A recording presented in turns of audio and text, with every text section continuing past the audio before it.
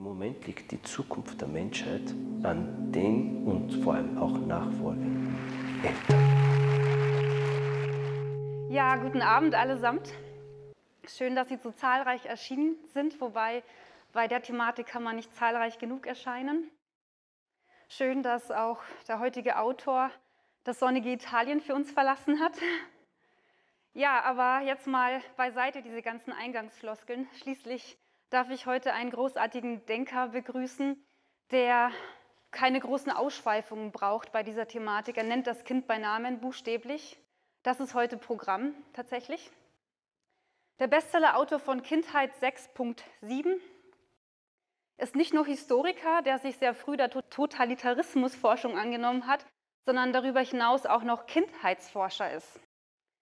Ja, für mich war Kindheitsforschung auch bis jetzt nicht vertraut, nicht geläufig als äh, Forschungsgebiet, womit es ja auch eine Bewandtnis hat, denn der Blick in unserer Gesellschaft für reale und naturgegebene Bedürfnisse von Kindern ist fast verloren gegangen, so Herr Hüter.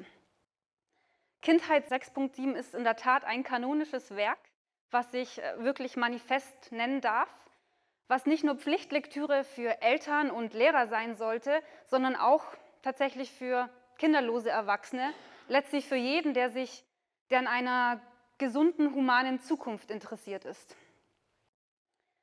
Es hat eine Schlagkraft, die es aber braucht.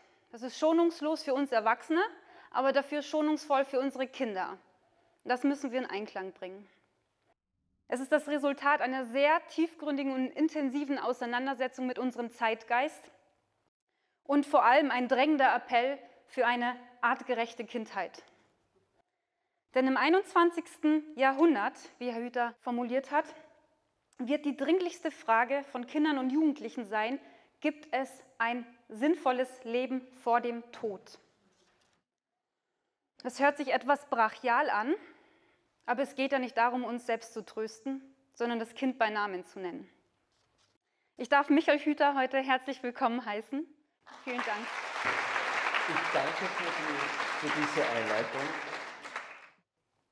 Sehr geehrtes Publikum, ich möchte meinen Vortrag hier in Ergolding mit einem Gedicht beginnen. Es heißt Lied vom Kindsein und ist von dem österreichischen Schriftsteller, Poeten und Literaturnobelpreisträger Peter Handke. Das Lied vom Kindsein vor allem die erste Strophe wurde 1987 durch den Film Himmel über Berlin des deutschen Regisseurs Wim Wenders bekannt und berühmt, für den Peter Handke auch das Drehbuch schrieb. Nun ein paar Verse aus diesem sehr langen Gedicht Lied vom Kindsein. Als das Kind Kind war, ging es mit hängenden Armen, wollte der Bach sei ein Fluss, der Fluss sei ein Strom und diese Pfütze das Meer. Als das Kind Kind war, wusste es nicht, dass es Kind war. Alles war ihm beseelt und alle Seelen waren eins. Als das Kind Kind war, wirkte es am Spinat, an den Erbsen, am Milchreis und am gedünsteten Blumenkohl und ist das alles und nicht nur zur Not. Als das Kind Kind war, genügte ihm als Nahrung Apfel, Brot und so ist es immer noch. Als das Kind Kind war, wartete es auf den ersten Schnee und wartet so immer noch. Was ist eigentlich Kind sein? Was ist Kindheit? Ein Lied, das immer wieder neu komponiert und getextet wird. Ein Mythos, eine historische Erzählung. Beschreibt das Lied vom Kindsein gar einen evolutionären Zustand? Oder ist das Lied vom Kindsein Jahrzehnten nur noch oder auch ein Rechtsbegriff? Was ist Kind? Wieso ist Kind nicht einfach? Mensch? Warum grenzen wir nicht nur rechtlich Kindheit und Kindsein vom Erwachsensein ab. Wem dient das und war das immer schon so? Angesichts des kollektiven Dramas und Traumas der letzten zwei Jahre, dass fast alle Kinder unseres Kulturkreises im Namen von Corona widerfahren ist, sollten wir uns diese Fragen nach dem, was Kindheit ist oder besser, was aus dem Kindsein geworden ist, immer wieder aufs Neue stellen. Machen wir eine kleine historische Zeitreise zurück zu den Anfängen des Kindseins, als das Kind noch Kind war. 2007 fanden Forscher des Leipziger Max-Planck-Institutes anhand einer Zahnanalyse bei einem Homo sapiens-Fossil in Marokko heraus. Die Kindheit, genauer das Kindsein des Menschen, dauerte auch vor 160.000 Jahren schon genauso lange wie heute. Das zweite Zahnen erfolgte zwischen dem sechsten und achten Lebensjahr. Das Wertespublikum sah man als Kindheit an, und zwar in 99,99 Prozent unseres bisherigen Daseinsformen als Homo sapiens und in ausnahmslos allen Kulturen. Der Zeitraum von Geburt bis zum zweiten Zahnen, also dem sechsten, siebten Lebensjahr.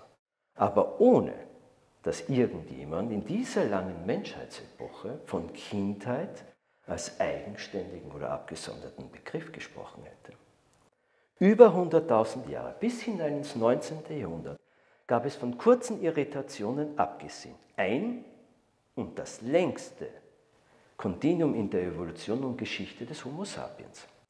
Bis zur sogenannten Entwöhnung des Kindes, etwa dem sechsten, siebten Lebensjahr, also dem zweiten Zahnen, war es vorbehaltlos, uneingeschränkt und von, von der Gesamtheit der jeweiligen Kultur und Gesellschaft respektiert in alleiniger Obhut und Fürsorge seiner Eltern, des Familienverbandes, den intimen Gemeinschaften. Die vollkommen selbstbestimmte Familie war über Zehntausender Jahre ein niemals ernsthaft in Frage gestelltes Naturgesetz und Kontinuum, was nicht heißt, dass es für Kinder und Familien jemals nur einfach war. Es gab auch Hunger, Natur und sonstige Katastrophen zu bewältigen. Nach diesem Kindsein, in familialen und intimen Gemeinschaften, also nach dem zweiten Zahnen, wurde das Kind, also der Mensch, schrittweise in die öffentliche Gemeinschaft eingeführt. Damit komme ich gleich zum zweiten Begriff meines Vortragstitels, Familie. Denn diese Trennung von Kind und Kindheit, von Eltern und Familie auf der anderen Seite, gab es zehntausender Jahre gar nicht. Das Kind, also der Mensch, das Kindsein war geschützt, umschlossen, quasi eingebettet von der Familie und intimen Gemeinschaften, die aber nicht nur aus Mutter und Vater bestanden. Die äußeren Bedingungen dieses, nennen wir es, gerahmten Familienbildes waren über 10.000 Jahre bis zum 10.000 Jahre bis zum 18. und 19. Jahrhundert in nahezu allen Kulturen. Kein Sippenboss, kein Stammesoberhaupt, kein Dorfältester, kein Medizinmann, kein König, kein Fürst, kein Herrscher, kein Pfarrer oder welche rechtliche Autorität auch immer hätte es ernsthaft gewagt, der Kern der Familie bis zur Entwöhnung des Kindes vorzuschreiben, was sie zu tun oder wie sie mit dem Menschenkind umzugehen habe. Der Familie wurde über zehntausende Jahre weitgehend uneingeschränkter Respekt und uneingeschränkte Wertschätzung weil man aus Erfahrung oder zumindest intuitiv wusste, diese Wertschätzung ist Grundvoraussetzung für eine gesunde Entwicklung des Menschenkindes und für die volle Entfaltung seiner Potenziale. Die freie und wertschätzte Familie ist die Voraussetzung für Kinderreichtum, für eine Gesellschaft und Kultur der Vielfalt, einer Gesellschaft in Balance und mit innerem Zusammenhalt und einer Gesellschaft, die imstande ist, Krisen jeder Art, wie zum Beispiel ökonomische, Umweltkatastrophen, Kriege und ähnliches nachhaltig zu meistern. Dazu nur ein historisches Beispiel. Sie kennen sich oder davon gehört von, von, ein, von den Aborigines in Australien eine archaische Kultur, würde man im Westen sagen. Die Aborigines sind die frühesten, was man heute auch aus der Forschung, also schon lange weiß, sind oder waren oder sind die frühesten kontinuierlichen Vertreter des modernen Menschen, also des Homo sapiens, außerhalb Europas und existierten dort bereits seit etwa 30.000 bis 40.000 Jahren vor Christus. Als die Engländer 1770 mit Captain James Hook die Ostküste Australiens betraten, lebten etwa 300.000 bis 700.000 Jäger und Sammler in 200 bis 600 Stämmen in familialen Gemeinschaften weitgehend friedlich nebeneinander. Diese menschliche Kultur namens Aborigines überlebte in diesem Zeitraum von auf diesem Kontinent Australien von rund 40.000 Jahren gewaltige Klimakatastrophen, Eiszeiten. Also wirklich, ähm, ja, das würden wir nicht mehr aushalten, gewaltige Klimakatastrophen und ihre Zahlen, das ist jetzt das Spannende von den Forscher aus, blieb über zehntausende Jahre konstant. Und also etwa konstant. Bis, und das ist der entscheidende Punkt, die Europäer kamen. Hier die Engländer, die bis zum 20. Jahrhundert die Aborigines auf ein paar hundert dezimiert haben. Oder ein anderes Beispiel. Um ein Gefühl zu kriegen, wie im Laufe der Jahrhunderte. Die sogenannte Bartholomäusnacht ist ein beliebter Vergleich bei Historikern. Die war irgendwann ja, 1572 äh, französische Katholiken hatten in den Religionskriegen Europas binnen 24 Stunden in diesem Pogrom der sogenannten Bartholomäusnacht so viele Christen, also andere Christen, umgebracht wie in 400 Jahren die Römer in 400 Jahren Christenverfolgung. Eine Geschichte, die der Westen auch durch unseres Bildungssystems immer wieder weitererzählt, lautet vereinfacht so, je weiter wir in die Geschichte der Menschheit zurückgehen, desto dümmer, kriegerischer, unterentwickelter, ungebildeter etc. waren. Aber das ist eine Erzählung. Das ist ein Mythos, der uns immer wieder aufs neue Glauben machen lässt oder uns glauben lassen soll, dass wir jetzt in der besten aller Zeiten leben. Seitdem wir menschliche Kulturen und Gesellschaften auf diesem Planeten haben, war die Familie in ausnahmslos allen Kulturen entweder geheiligt oder zumindest wertgeschätzt. Als beispielsweise Kaiser Augustus an die Macht kam, war eines seiner ersten Anliegen nicht die Reform des Militärs, sondern des Familienwesens. Wenn ein Kaiser oder König der letzten Jahrtausende auch nur eine entwertende Aussage über Eltern gemacht hätte, wie das seit beinahe zwei Jahrzehnten in der Politik letztlich aller Parteien zur Norm geworden ist, dieser Kaiser oder König hätte keine drei Tage politisch überlebt, auch wenn wir uns das heute nicht vorstellen können. Nur ein Beispiel unter Hunderten. Als vor einigen Jahren in Deutschland die politische Diskussion um das sogenannte elterliche Betreuungsgeld stattfand, fielen folgende Begriffe durch alle, alle Parteien. Herzprämie, Gluckengehalt, Schnapsgeld etc. Eltern und generell die Familie zu entwerten, ist nicht nur zum politischen Volkssport geworden und nicht nur in Deutschland. Reisen wir aber noch einmal zurück in die alten Familienzeiten.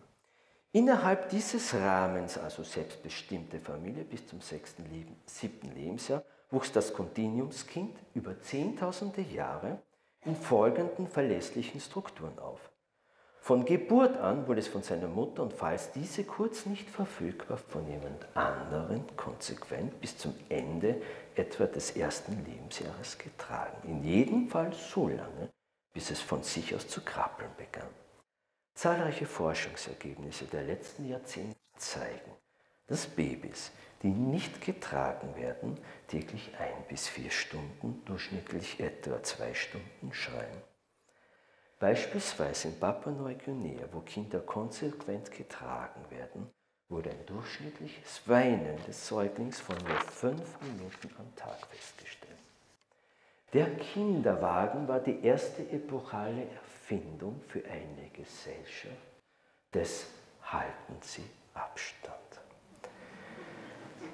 Bei Bedarf wurde das Menschenkind bis zur späten Entwöhnung weitergetragen und emporgehoben. Bei Bedarf heißt, signalisierte das Baby und Kleinkind, nachdem es bereits krabbeln und gehen gelernt hatte, dass es getragen oder hochgenommen werden möchte, wurde diesem Bedürfnis durch die Mutter ausnahmslos und ohne Zögern stattgegeben. Fassen wir das erste Kontinuum der Erfolgsgeschichte Homo sapiens zusammen. Das Menschenkind wuchs in Augenhöhe zu seiner Umwelt und seinen Mitmenschen heran. Oder anders gesagt, die erste Strophe des evolutionären Liedes vom Kindsein lautet Nähe und nicht Abstand.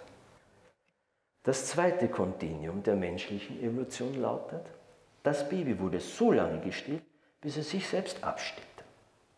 Mit Stehen ist hier gemeint, dem Kind immer dann die Post zu geben, wenn es danach verlangt und dass es selbst entscheiden kann, wann es sie nicht mehr benötigt. Das bedeutet, dass die Stillperiode weitaus länger ist als die in unserem Kulturkreis mittlerweile herrschende Norm. Catherine Detweiler und Stuart McAdam verglichen Breastfeeding Bicultural Perspectives, das Alter des Abstehens in 64 nicht industrialisierten Kulturen und kamen zu dem Schluss, dass der Scheitelpunkt kurz vor dem dritten Geburtstag liegt. Der früheste liegt kurz vor dem ersten Geburtstag, der späteste bei etwa fünfeinhalb Jahren. Die zweite Strophe des evolutionären, des evolutionären Liedes vom Kindsein lautet Liebe und Berührung. Nun noch zum dritten, historischen, ebenso verlässlichen Kontinuum für das Menschenkind.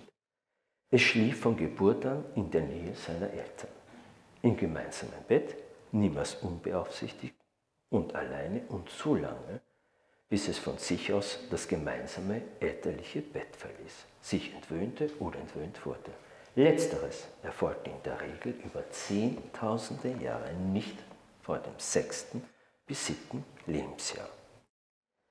Der Kontinuumsmensch vertraute bedingungslos der Natur und die stellte sich auch, und schon gar nicht für das kleine Menschenkind, als Schlaraffenland dar.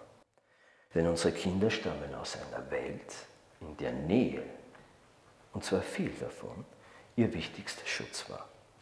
Denn die weiteste Strecke der menschlichen Geschichte leben wir Menschen als Jäger und Sammler, in der im Übrigen bis heute einzig wirklich demokratischen sozialen Lebensform aller bisherigen Gesellschaften.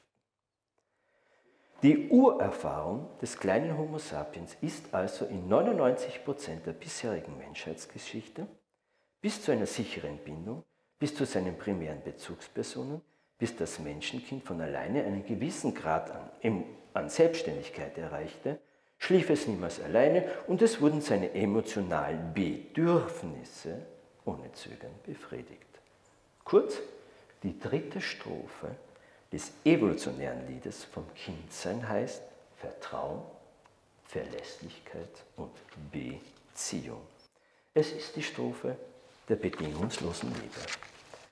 Dieser Urerfahrung der bedingungslosen Liebe, der bedingungslosen Nähe, des bedingungslosen Vertrauens, dieser Urerfahrung konnte sich der kleine Sapiens also im Wesentlichen über 160.000 Jahre sicher sein. Für diese Urerfahrung gibt es ein Wort, familiale Sozialisation. Aber was hat uns eigentlich diese altmodische familiale Sozialisation gebracht? Wir klettern nicht mehr auf Bäume. Gut, das wird jetzt manche noch nicht vom Sockel hauen, aber es geht ja noch weiter in familialer Sozialisation als Kernzelle, als Gesellschaftsform aller Kulturen hat der Sapiens das Feuer gezähmt und das Rad erfunden. Das bis, höchste, das bis heute höchste Kulturgut, die Sprache, Und damit zusammenhängend unser Gehirn, so wie wir es heute noch haben, wir haben wir in familialen Gemeinschaften entwickelt. Wie auch die anderen großen Kulturgüter wie die Schrift, die Mathematik, die Kunst, die Musik und auch die Wissenschaften.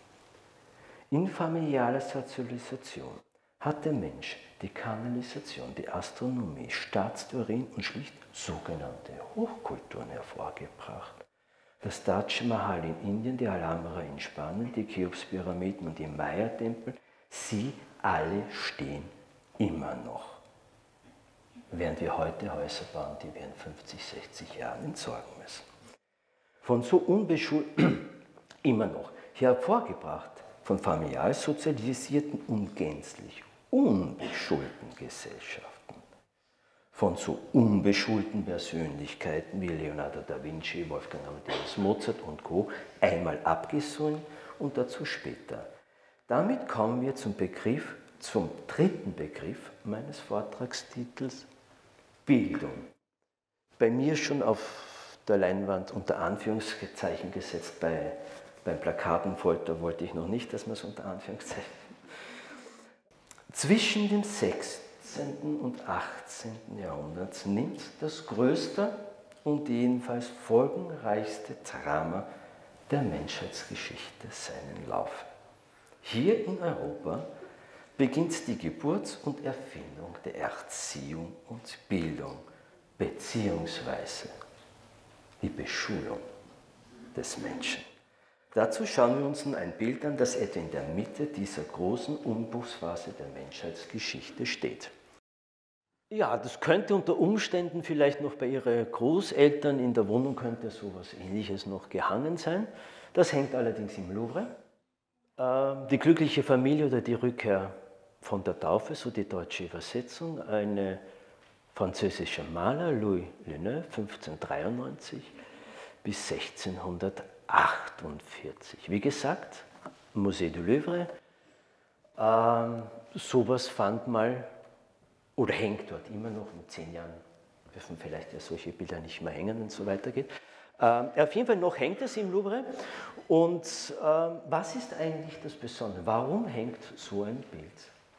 Im Louvre. Das Louvre ist ja nicht gerade irgendeine Galerie, sondern eines der bedeutendsten Kunstmuseen Europas. Das Besondere an diesem Bild ist, was Sie hier sehen, ist die Reduktion auf das, was wir Kernfamilie bezeichnen. In dieser Epoche, im 15. und 16. Jahrhundert, tritt überhaupt in Europa in der Kunst das Thema Familie quasi auf die Leinwand. Davor wurde die Familie überhaupt gar nicht abgebildet. Und ab dem Moment, wo sie abgebildet wurde, wurde sie im Wesentlichen so abgebildet. Später kamen dann noch die Könige und die Kaiser mit Kindern und so dazu, aber die bürgerliche oder bäuerliche Familie, sie sind Vater, Mutter, zwei Kinder Großmutter, der Großvater fehlt zum Beispiel schon. Ja? Gibt sicher auch, vielleicht ist er schon verstorben, aber grundsätzlich, den hätte man ja eigentlich noch dazu nehmen können. Hier ist noch ein drittes Kind im Hintergrund, das könnte aber auch vielleicht ein Freund sein, ja? ein Sohn, ein Baby oder Kleinkind. Aber das war keineswegs die familiäre Norm dieser damaligen Zeit. Ab diesem Zeitpunkt bis zum 19. Jahrhundert wollte man Familie so reduziert sehen. Damit machen wir mal weiter. Was geht in Jahrzehnten und teils Jahrhunderten, bevor dieses Bild gemalt wurde, eigentlich voraus? Vor über 1000 Jahren setzte sich das Christentum als Religion mehrheitlich in Europa durch und begann Institution werden, zu werden. Die katholische Kirche übernahm zwischen dem 14. und 16. Jahrhundert nicht nur die geistige, sondern auch die weltliche Macht in Europa. Der zunehmende Klerus in der Hauptsache die Bischöfe mussten selbst für die Ausbildung der jungen und immer zahlreicher werdenden Geistlichen sorgen, die Ausbildung der Priester. Aus den vereinzelten mittelalterlichen Klosterschulen und ein vereinzeltes Schulwesen gab es in allen Epochen in Kulturen, im städtischen Bereich, auch in der griechischen Antike, aber wie gesagt vereinzelt. Aus den vereinzelten christlichen Klosterschulen entstanden nun und zahlreich die sogenannten Kollegs. In dieser, nur im Hinterkopf am Rande und in genau dieser Zeit entstand auch noch etwas, was wir bis heute noch mitschleppen, nämlich der Kapitalismus. 1601 oder 1603 wurde die erste Börse, hat die erste Börse eröffnet, aber das nur so am Rande. Sehr geehrtes Publikum, seien Sie sich dessen einmal bewusst. Aus dem Priestermangel entstand die Gründung und Urzelle unseres heutigen Schul- und Bildungssystems. Diese Epoche ist zudem gleichzeitig die Geburt und Erfindung dessen, was wir auch heute noch als Erziehung des Menschen bezeichnen.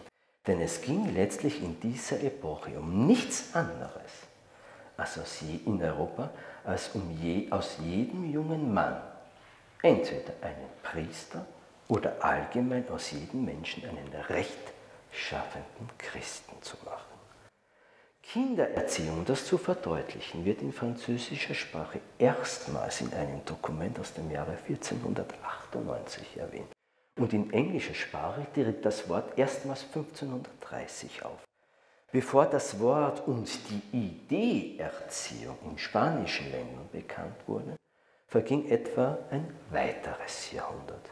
Noch 15, 1632 spricht der berühmte spanische Dichter Lope de Vega von Erziehung als Neuheit. Mit der Geburt der Erziehung des Menschen zieht auch erstmals kollektiv die Bewertung und Normierung in das menschliche Verhalten ein, vor allem dem Menschenkind gegenüber.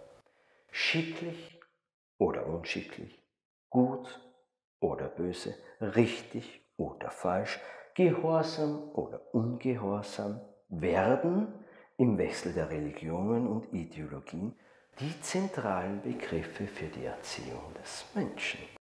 Dazu wurde die Kindheit im modernen und heutigen Sinn erfunden, genau in dieser Epoche. Das Kind ist von nun an per se sündig oder falsch, unerzogen, nicht richtig, faul, unwissend, ungebildet und so weiter. Der Mensch, vereinfacht, ist seit dieser Epoche. Und das ist der unter Anführungszeichen geniale Geist, der da aus der Flasche gelassen wurde. Der Mensch kommt unrichtig auf die Welt. Das Kind war falsch.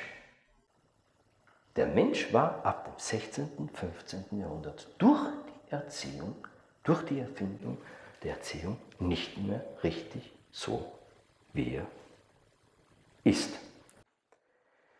Von nun an musste das Kind erzogen werden. Zuallererst einmal zu einem guten Christen.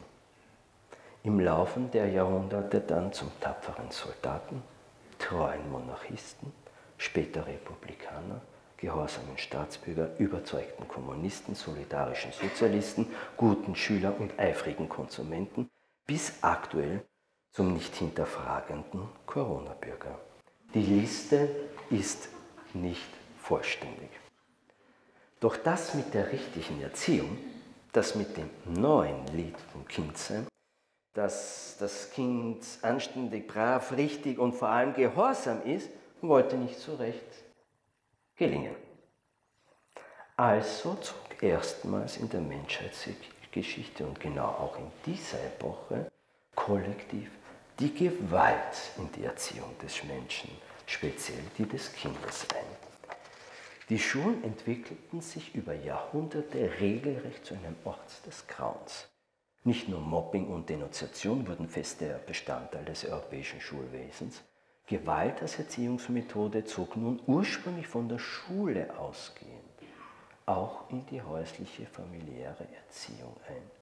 Über Jahrhunderte wurde eine Generation auf die andere teils blutig geschlagen. Wir können uns das heute gar nicht mehr vorstellen. Also, ah, also glauben Sie mir, für mich ist als Historiker die letzten zwei Jahre, also das ist wie im Kino sitzen. Ja, also es ist unglaublich, also ständig ein neuer, unglaublich entweder dystopischer oder sonstiger Film, der da abgespielt wird, äh, mit Reminiszenzen auf vergangene Epochen. Wir können uns das heute schwer vorstellen, aber als in Europa die Schulpflicht versucht wurde durchzusetzen oder zuerst einmal überhaupt die Eltern davon zu überzeugen, dass ihre Kinder doch bitte in die Schulen geben sollen, vom 16.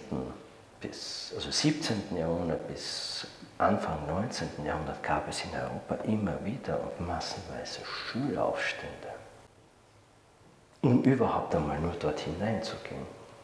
Wehrte sich der Mensch, vor allem auch die Eltern weigerten sich, auch wenn wir uns das heute nicht mehr vorstellen können. Die letzten, ich glaube, einer der letzten großen Schulaufstände war in England irgendwann 19, äh, 1880 oder 70 irgendwas. Das ist alles noch nicht allzu lange her. Mit der Erfindung des Schulwissens und der Erziehung in Europa begann letztlich das, was ich in meinem Buch Kinder 6.10 als die Domestizierung des Menschen bezeichne. Nun, das historische Spannende oder vielmehr Fatale. Als die Kirche in Europa vom 18. und 19. Jahrhundert sukzessive die weltliche Macht verlor und ihr Bildungssystem an die nun säkularisierten, sprich weltlichen Staaten abgeben musste, haben diese das alte Bildungssystem einfach nur übernommen und nur teils die Inhalte ausgetauscht. Warum eigentlich? Gott ist tot, verkündete der deutsche Dichter.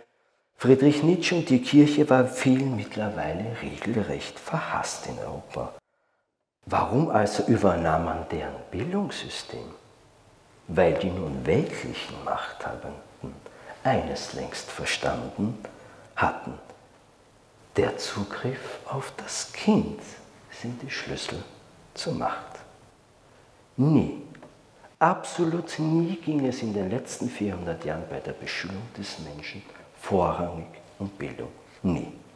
Das ist ein Mythos, der dank unseres Bildungssystems immer und immer wieder aufs Neue erzählt und aufrechterhalten wird. Nie ging es darum, das Kind bzw. Menschen zu einem demokratischen Bürger zu erziehen. Wer keine innerseelische Demokratie im Laufe seines Heranwachsens entwickeln und erfahren konnte, wird später niemals wahrhaft demokratisch sein. Wer als Kind nicht ausreichend Liebe erfahren hat, der wird der Liebe später niemals fähig sein. Wer als Kind misshandelt wird, der wird später in irgendeiner Form andere misshandeln und so weiter und zum Objekt machen. Ein Schulsystem, das nach wie vor heute und vor allem wieder alle Kinder, also den Menschen, und das mittlerweile eine ganze verlängerte Kindheit lang bis zum 18. Lebensjahr gleich macht, in seines Selbst beraubt, ist per se nicht demokratisch, sondern dem, dem Wesen nach totalitaristisch. Ein etwas ganz was Spannendes, was die wenigsten wissen. Wie Sie wahrscheinlich wissen, nach dem Zweiten Weltkrieg wurden so in den 50er Jahren die sogenannten Familien- und Kinderrechts, die UNO-Konventionen festgeschrieben. Ja, ganz tolle Sachen stehen da drin, zum Beispiel immer noch an allererster Stelle. Äh, Im Übrigen, äh, dass die Familie die Kernzelle jeder Gesellschaft ist und vorrangig durch Gesellschaft und Staat schützenswert ist, steht eigentlich immer noch in der UNO-Menschenrechtskonvention, auch wenn nichts davon in der gesellschaftlichen Praxis übrig geblieben ist. Ähm, Papier ist geduldig bekanntlich, aber etwas Spannendes. Also die wurden in den 50er Jahren festgeschrieben. Und Kindheit dauerte bis zum 14. Lebensjahr. Was die wenigsten wissen und auch nie groß diskutiert wurde, es gab eine Abwandlung, eine Änderung in der UNO-Menschenrechtskonvention in den 80er Jahren, ich glaube 83, 84, so ungefähr. Da wurde Kindheit, der Begriff, auf das 18. Lebensjahr ausgedehnt. Kind ist laut UNO-Menschenrechtskonvention. Das wissen die wenigsten. Von 0 bis 18. Was glauben Sie, warum man das ausgedehnt hat bis zum 18. Lebensjahr? Eine Frage. Ich unterbreche mal ganz kurz meinen Vortrag. Ein, wer hat eine spontane Idee? Ne? Weil wieso, soll ein 17-jähriger Kind sein? Also 17-jähriges Kind rechtlich wie ein Einjähriger. Bitte? Genau, und zwar hängt es mit der Ausdehnung der Schulzeit zusammen. Es hängt mit der Entrechtung und Entwertung des Menschen zusammen. Weil wenn Sie bis 18 Jahre keine Rechte kennengelernt haben, wenn Sie beim Re bis 18 Jahre nicht gelernt haben, selbst zu denken, wenn Sie bis 18 Jahre von der Welt weggeschlossen waren, dann werden Sie die restlichen 40 bis 50 Jahre danach auch nicht mehr danach verlangen, vor allem das Entscheidende. In der Neurobiologie und, und, ja, in der Neurobiologie weiß man ja schon seit, im Grunde genommen seit Jahrzehnten, dass die Entwicklung des menschlichen Gehirns, bis das vollständig entwickelt ist, wesentlich länger dauert, als man das über Jahrhunderte oder Jahrtausende gedacht hat. Zum Beispiel im 15. und 16. Jahrhundert fing man ja deshalb an, so früh auf, auf das Kind zuzugreifen, von klein auf das zu ziehen, weil man gedacht hat, je früher, desto besser. Was Hänschen nicht mehr lernt, lernt Hans nicht mehr, mehr. Das wissen wir natürlich heute, ist Unsinn. Ja? Aber das war der Geist. Dieser Spruch kommt wahrscheinlich aus dieser Zeit. Ja? Und nur ist es nicht so. dass die Entwicklung des menschlichen Gehirns dauert wesentlich länger, nämlich ungefähr so bis zum 19., 20. Lebensjahr. Nur das Fatale ist, wenn ein Kollege von mir, der Gerald Hütter, der deutsche Neurobiologe, der könnte Ihnen das wunderbar erklären. Ja? Wenn da oben, das Fatale ist, gewisse Verschaltungen bis dahin nicht mehr passieren in dem, was wir Gehirn nennen, dann haben sie es sehr schwer in ihrem Leben, das nochmal wiederherzustellen. Also die Ausdehnung der Kindheit als Rechtsbegriff in der westlichen Welt hat mit Kind sein und Menschsein herzlich wenig zu tun. Abschließend zur Geschichte der Beschulung, Erziehung des Menschen. Von Beginn der Erziehung und Beschulung des Menschen an, also von Beginn des 17. Jahrhunderts bis zum Ende des Zweiten Weltkriegs. Jetzt kommen wir zum Entscheidenden. Vom Dreißigjährigen Krieg in Europa 1618 bis 1648 bis zum Abwurf der Atombombe in Hiroshima 1945 gab es in den gut 400 Jahren so viele Kriege, so viele Völkermorde auf diesem Kontinent Europa wie in der gesamten Menschheitsgeschichte zuvor nicht. Das ist heute historisches Faktum. Von den großen Völkermorden der Europäer im Namen von Kolonisation in Afrika, Amerika und wo einmal abgesehen. All diese immensen Verbrechen, diese große Zerstörung von Mensch, Kultur und Natur setzt ein und weitet sich aus, seitdem der Mensch erzogen und beschult und angeblich gebildet wird. Darüber sollten wir einmal gründlich nachdenken. Das nächste Bild bitte, danke. In dem Moment, als die breite Massenbeschulung abgeschlossen wurde, könnte Adidas-Jacke sein. Also 15. Jahrhundert sind wir jetzt nicht mehr. Jetzt haben wir einen großen Sprung gemacht. Wir sind im China der ja, der Film Alphabet, ja, steht ja da 2000 in China im Jahre 2012 oder 11.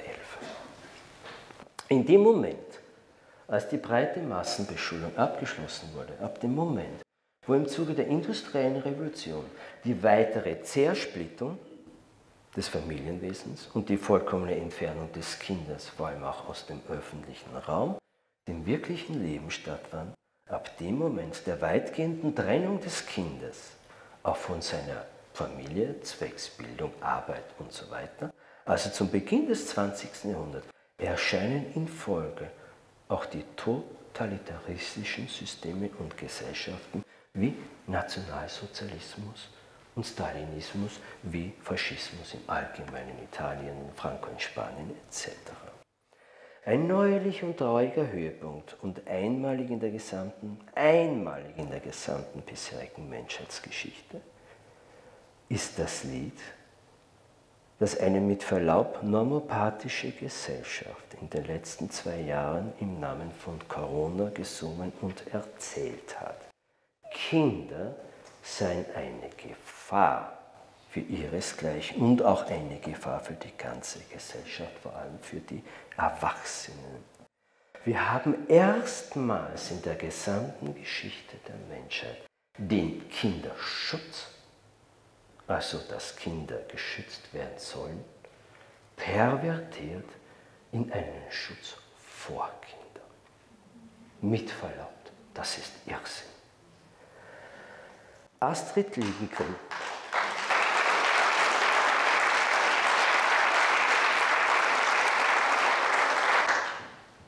Astrid Lindgren schrieb in, in den 19, Sie werden sie sicher alle kennen, werden ja alle mal Kinder, haben sie alle vorgelesen bekommen, Pippi Landstrom und Co. Astrid Lindgren schrieb in den 1940er Jahren in ihr Tagebuch, die Welt hat den Verstand verloren. 2020 war es wieder mal soweit. In keiner Menschheitsepoche zuvor haben wir Kinder. In keiner Menschheitsepoche zuvor, ich wiederhole, haben wir Kinder. Kindern alles, absolut alles genommen.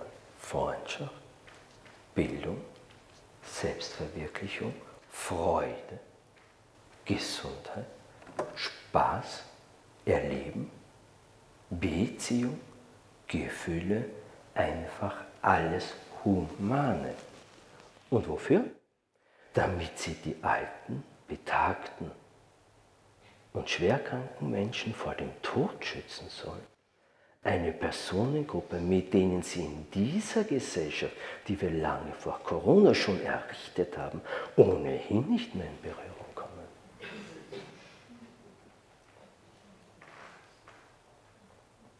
Und vor allem, für absolut alle sogenannten Corona-Schutzmaßnahmen bei Kindern, von den Spielplatzschließungen, ich war übrigens einer der allerersten, die dazu einen Artikel geschrieben haben, in meinen Sätzen darüber. Also ich bin mit meinem Sohn spazieren gegangen, ich muss ehrlich gestehen. Ich hätte jedes einzelne Klebeband von den Spielplätzen runterreißen können.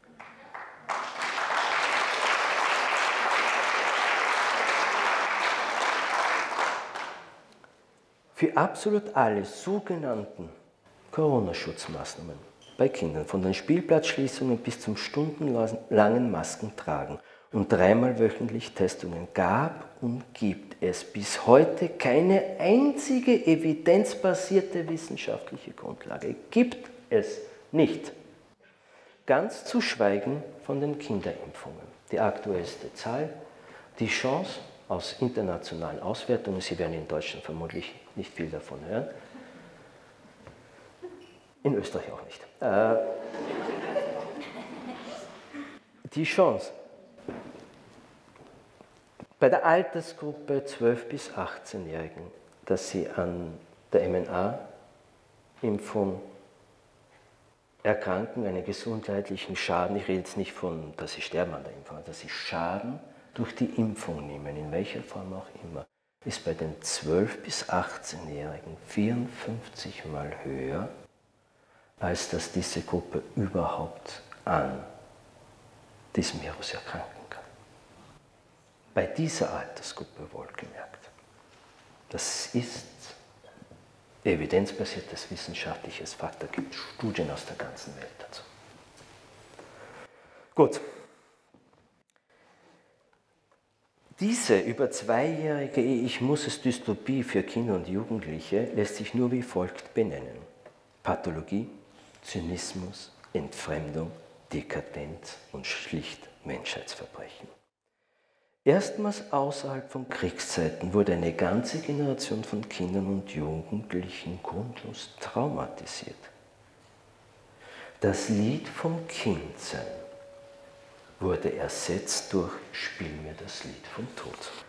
Der dahinterliegende kranke Geist der letzten Jahre, die dahinterliegende Ideologie namens Transhumanismus ist die kinder- und menschenfeindlichste aller Epochen. Eines noch, denn das zeigt und beweist die Geschichte wiederholt. Als aus Albtraum Kindheit folgt 20 bis 30 Jahre später immer Albtraum Menschheit.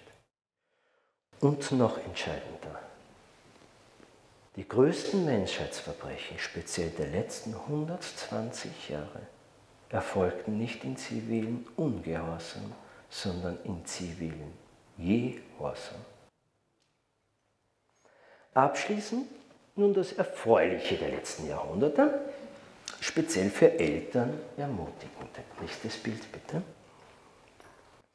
Der wunderbare dänische Familientherapeut, Autor und ursprünglich im Übrigen auch Historiker, Jesper Juhl, schrieb vor nicht allzu langer Zeit.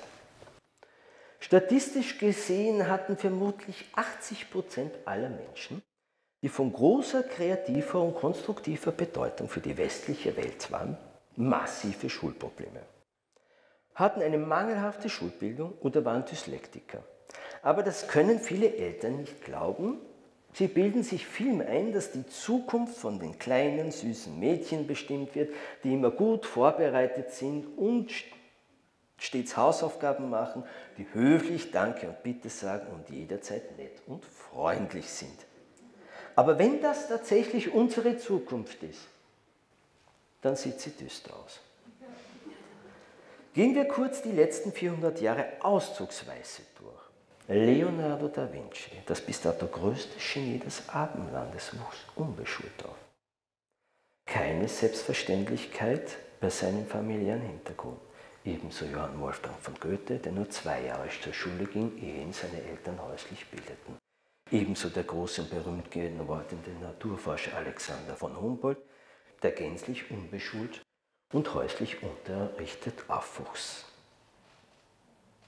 Ein deutscher Naturforscher gibt es jede Menge Denkmäler in Deutschland und Straßennamen zu diesem Alexander von Humboldt. Auch der größte Eisenbahnpionier aller Zeiten, George B. Stevenson, oder der größte Erfinder aller Zeiten, Alpha Edison, wuchsen unbeschaut und familial sozialisiert auf. Alpha Edison war nur kurz in der Schule ein paar Monate. Seine Mutter nahm ihn aus der Schule, weil der Lehrer von Edison der Mutter gegenüber meinte, aus so einem Idioten wird nichts. Edison Mutter war zwar eine einfache, eher arme Frau, aber voll Würde, Liebe, Verstand und vor allem Konsequenz. Wie die Mütter von Hannah Arendt, der berühmten Totalitarismusforscherin, und von Maria Montessori, die als erste Frau Italiens Medizin studierte.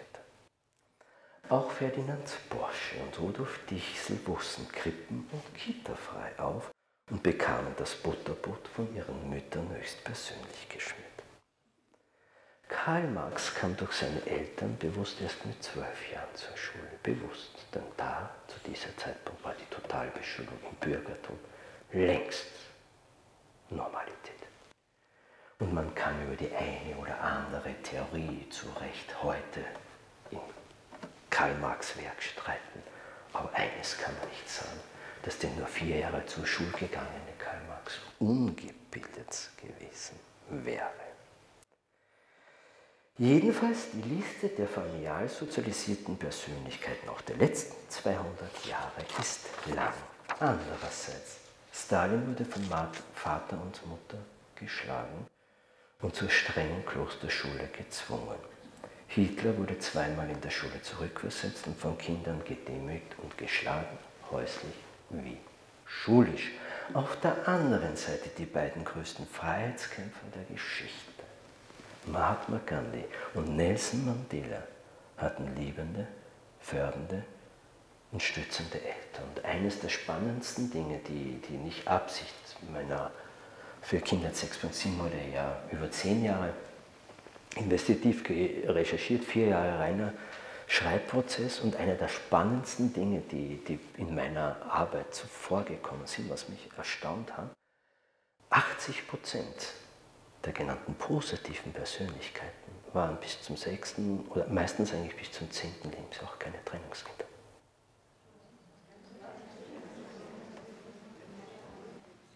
darüber könnte man einmal nachdenken. Die Liste der positiven wie negativen Persönlichkeiten Europas ist lang. Alle positiven Persönlichkeiten, der, die gerade genannten Genies, Genies, Erfinder, Dichter und Denker, hatten Eltern, die nicht den gerade herrschenden Ideologien und pädagogischen Ratschlägen folgten, sondern ihr Kind weiter das alte, ganz alte und evolutionäre Lied vom Kindsein vorsingen. Das von der Nähe, Geborgenheit, das von bedingungsloser Liebe und Unterstützung, das von Beziehung statt Erziehung, das Lied des Vertrauens. Liebe Eltern hier im Raum und auch anderswo, wir brauchen dringlich wieder Pippi Langstrumpf und Michel von Lünebergs. Auch die Pioniere der digitalen Revolution, Steve Jobs, Elmas und Co., sind zuerst einmal analog aufgewachsen und spielten in Dreck und Gatsch. Wir werden erst wieder Frieden auf Erden haben, wenn wir wieder Frieden, wenn wir wieder in Frieden mit der Kindheit sind. Kann es sein, dass der große Poet Peter Handke, als er das Lied vom Kindsein schrieb, hinter den Worten, als das Kind Kind war, etwas anderes gedacht hat und sagen wollte, vielleicht als der Mensch Mensch war und Mensch bleiben durfte. Ich danke für Ihre Aufmerksamkeit.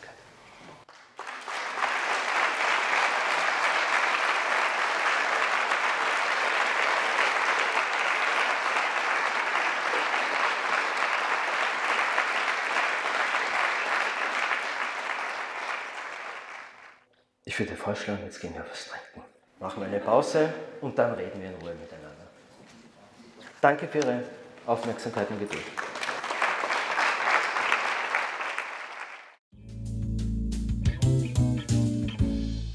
Ich habe selten, also schon länger nicht mal ein so ruhiges und aufmerksames Publikum gehabt und ich glaube, dass das nicht nur an der bayerischen Gemütlichkeit liegt.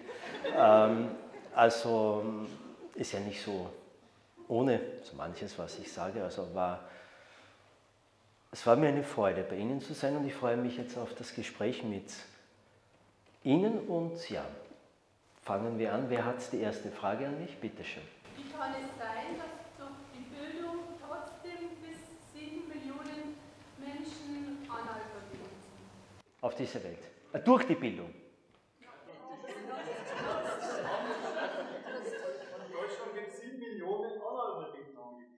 Ja, äh, da sprechen Sie mal was äh, zum Thema Beschulung. Beschulung hat nichts mit Bildung zu tun. Das habe ich Ihnen heute versucht, einmal kurz im großen Bogen äh, mal klarzumachen. Äh, das ist aber auch verstärkt so geworden. Ein ganz spannendes Forschungsergebnis dazu kurz. Ähm, vor schon, das ist schon länger her, gefühlt 20 Jahre, also bevor die Analphabetisierungsraten, die in den letzten 10, 20 Jahren im Übrigen steigen und noch steigen, also das ist ein neueres Phänomen, da komme ich aber gleich darauf noch zurück, zur Gegenwart, äh, wollten Forscher mal, das war ein internationales ähm, Forschungsprojekt mit amerikanischen und ähm, europäischen Wissenschaften, die wollten einmal wissen, wie es um diese Mehr- oder Erzählung eigentlich steht, mit der Massenbeschulung sei die Bildung und vor allem die Analphabetisierungsrate zurückgegangen, beziehungsweise wie, wie hoch war sie eigentlich davor. Und jetzt komme ich gleich zum, mache das kurz zum springenden Punkt. Am Ende des 18., vor der sogenannten industriellen Revolution, also so äh, zwischen 1880 bis äh, 1780 und 1920, also bis dorthin. Ja? Also in den letzten zwei, äh, vor, vor 200 Jahren vereinfacht gesagt, war die Analphabet, also vor der breiten übrigens auch endgültigen Durchsetzen der Massenbeschulung, war die Analphabetisierungsrate in Europa ähnlich hoch, wie wir sie jetzt wieder haben, nach 18 Jahren. Und jetzt Ihre berechtigte Frage, wie kann das sein? Und das wäre eigentlich Thema spannend seines eigenen Vortrages, aber es sind inzwischen mehrere Faktoren. Es ist auch die Digitalisierung, die frühe. Äh, Im Übrigen, es gibt ja auch schon Länder wie Finnland oder so, da wird die Handschrift wahlweise können also die Schulen entscheiden mit Einverständnis, sollen Kinder überhaupt noch überhaupt schreiben lernen. Ja, ja, ja, ja. Also tippen gleich in, von, von der Grundschule an, tippen die gleich. Zuerst wischen sie und drücken sie halt in der Kita. Ich war mal äh, in einer spannenden Diskussionsrunde mit, mit dem deutschen Gehirnforscher, äh, Neurobiologen Manfred Spitzer, der zwar in den letzten zwei Jahren nicht so eine rühmliche Rolle eingenommen hat, egal, aber seine Bücher in, in Hinsicht der Digitalisierung der Kinder, das ist richtig. Seine warnenden Bücher wie Digitale Demenz etc. Wirklich eine Koryphäe. Und er hat einmal scherzhaft in einer, äh, in dieser Diskussionsrunde, bei der ich auch mit dabei war, gesagt, wer früh wischt, hat die beste Chance, eine Karriere als Putzfrau zu machen. Ja? Äh, es ist wirklich so. Vor allem, es gibt ja, äh, es gibt, da gibt es ja, wo hat das angefangen am ersten? Ja? Die Digitalisierung, die frühe in der Kindheit, in den USA. Und da gibt es schon seit langem, bevor der richtig dieser Punkt zu uns gekommen ist und den Babys schon im Kinderwagen. Für mich ist der Gipfel des Wahnsinns, was ich immer wieder sehe, hier in Mitteleuropa, wenn Eltern das Kind im Kinderwagen schieben und dann hat er da drinnen auch noch das Smartphone mit irgendwelchen Figuren. Und wenn das aus ist, ja, dann startet es automatisch und dann wischt er und drückt er. Das ist Wahnsinn. Das ist der Weg in die absolute Verdummung. Es ist einfach so. Ja? Und da gibt es Dutzende Untersuchungen. Ein Beispiel zum Beispiel an Universitäten, großes, äh, über, glaube ich, da weiß nicht, wie viele hundert Universitäten da sie beteiligt haben, haben Studenten mit, die eine Gruppe mitgeschrieben, die Vorlesung, die anderen haben getippt. Und die dritte Kontrollgruppe hat, was war das schnell tippen, mitschreiben und ähm, ja, genau. Ja? Und die, die, die das ganz alte klassische mitgeschrieben haben, haben sich am meisten gemerkt. Wir dürfen nicht vergessen, wenn ich heute, ich habe heute weit ausgeholt, in dieser vorindustrialisierten und vorgebildeten Zeit, der Mensch hat die Schrift erfunden dieses Kulturgut. Das heißt, das liegt, muss ja im, Menschen, im Wesen drinnen liegen, auch wenn das eine oder Kind sich schwer oder leichter damit tut. Ja? Und um Schre Schreiben und Lesen zu lernen, brauche ich einmal grundsätzlich keine Schule. Das kann ich immer erwerben. Ja? Und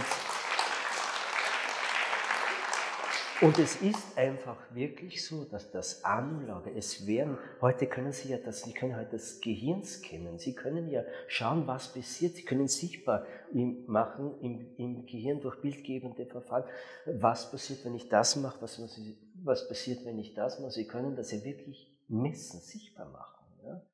Und und ich merke selber zum Beispiel, ja, also ich, meine Frau zum Beispiel, die hat aufgehört, Interviews oder nicht nur von mir, sondern auch von anderen sich anzu, äh, anzuschauen, ne, sondern angefangen anzuhören.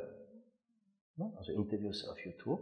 Ne, sie, sie ladet die Tonspur runter und raucht sich das an neben, neben Hausarbeit oder sonst irgendwas weil sie draufgekommen ist, was aber auch längst wissenschaftliches Faktum, dass sie sich dann mehr merkt, als wenn sie schaut.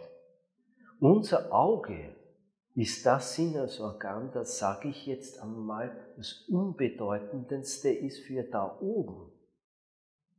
Das ist zur Orientierung viel. Aber hören, unsere Ohren, ja, das ist viel, da, da passiert wesentlich mehr. Also wie gesagt, da können Sie Neurobiologen, die können jetzt stundenlang reden. Ja?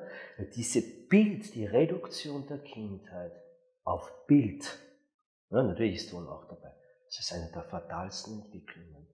Und sie verhindert, und sie fördert, sie verhindert vor allem das vernetzte Denken?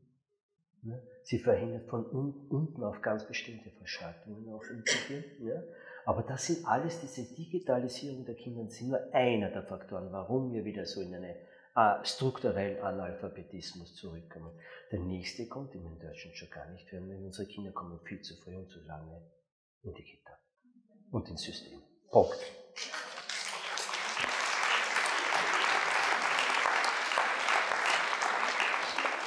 Eine eines dazu noch, eine neurologische, das war 2015, heute würde das nicht mehr passieren, Bild des Jahres. Eine, also Pressefoto oder, irgendwie, also weltweit Bild des Jahres, eine Neurobiologin gelang das erste Mal ähm, mit einem, wie nennt man, äh, MD, also dieses Gehirnscanning sichtbar machen, der, der äh, farbliche sichtbar machen, was passiert, welchen Gehirnregionen wird was ausgelöst. Da ist es gelungen, ähm, eine Mutter, die ihr neugeborenes Baby, das war nicht so, das hat die umarmt und die Mutter das, das Baby geküsst, also ganz nahe. Ne? Und, und, und das ist ein tolles, tolles Bild, ja. Und, und dann, dann gehen, dann gehen die, die, die, die Zentren beim Baby wie bei der Mutter gleichzeitig synchron gehen genau die gleichen Gehirnregionen an in freudiger Erregung. Ja, und zwar exakt die gleichen. Heute weiß man auch, dass die Mutter, ja, also dass das Gehirn des Menschen maßgeblich äh, die Mutter, also die von Schwangerschaft an, die Mutter dafür verantwortlich. Das Kind geht mit der Mutter einfach eine Symbiose ein. Ist einfach so. Unsere Kinder bräuchten zuerst einmal und für längere Zeit, dass das in unserem Kulturkreis üblich ist, wieder mal Mütter und keine Pädagogen. Man kann nämlich auch messen, nicht nur die freudigen Erregungen, Sie können nämlich auch inzwischen sichtbar machen, wenn Sie einem Kind mit Mama auf den Finger schlagen, wenn Sie das misshandeln oder wenn Sie Ihr Kind mit drei Monaten in die Krippe bringen, was dann passiert. Das will ich aber jetzt hier heute, das können Sie sichtbar machen. Und wenn wir all die Forschungsergebnisse, die wir inzwischen allein aus der Neurobiologie haben, wenn wir die umsetzen würden, dürfte vor drei Jahren eigentlich kein Kind ins System. Vor Jahren, schon 10, 20, 30 Jahren, waren ja die ersten, die Psychologen die Psychoanalytiker, die herausgefunden haben, was eigentlich da an Traumatisierungen passiert. Und zudem haben wir jetzt eigentlich auch noch die Neurobiologie, die eigentlich uns das sagt, wir sollten das machen, was wir, ja bitte, wie ich heute versucht habe, sichtbar zu machen, 160.000 Jahre lang völlige Normalität und Selbstverständlichkeit war. Man hat herausgefunden, dass wir seit 10.000 Jahren den gleichen IQ hatten, haben, seit 10.000 Jahren. Und seit 10 Jahren sinkt er weltweit Also im Moment sind wir am Weg der Verdummung, vereinfacht gesagt. Und der springende Punkt nicht nur der Verdummung, sondern auch der Entmenschlichung. Und das hängt aber genau damit zusammen. Schauen Sie sich eben die berühmten Persönlichkeiten an. Die hatten liebende und stützende Eltern, fördernde. Das ist das, was für, die, für eine Explosion in der Gehirnentwicklung sorgt. Ja, warum aus? Was erlebt denn das Embryo eigentlich im Bauch? Es ist bedingungsloses Unterstützung. Das ist ja ein, ein, ein Naturzustand einmal. Und auf den können wir ja nach wie vor, Gott sei Dank, noch nicht eingreifen. Und mit dieser Erfahrung kommt jedes Neugeborene auf dieser Welt mal auf, auf die Welt. Und erwartet sich verständlicherweise, dass sie diese Erfahrung auch im Äußerlichen dann weiter erlebt, solange es, bis es halt die nötige Eigenständigkeit hat. Der Mensch ist ein Liebender und kommt als Liebender auf die Welt. Weil sonst wären wir ja alle Terroristen und alle Mörder. Sind wir aber nicht. Also es kann nicht in unseren Genen liegen. Also da läuft dann, bei denen da ist einfach was schiefgelaufen, vereinfacht gesagt. Nächste Frage. Ja, mich würde was interessieren, und zwar, schaue mir die ganze Zeit schon das Bild an. Was bedeutet 6 von 7? Ich wollte es den Lesern nicht einfach machen. Äh, die 6.7 steht für das sechste, siebte Lebensjahr. Äh, das war selber für mich eigentlich auch einer der überraschenden Ergebnisse, dass man die Kindheit eigentlich über, seitdem wir Homo sapiens Familie sind, die Kindheit bis zum zweiten Zahn gesehen hat. Der Mensch war immer auch ein Naturmensch.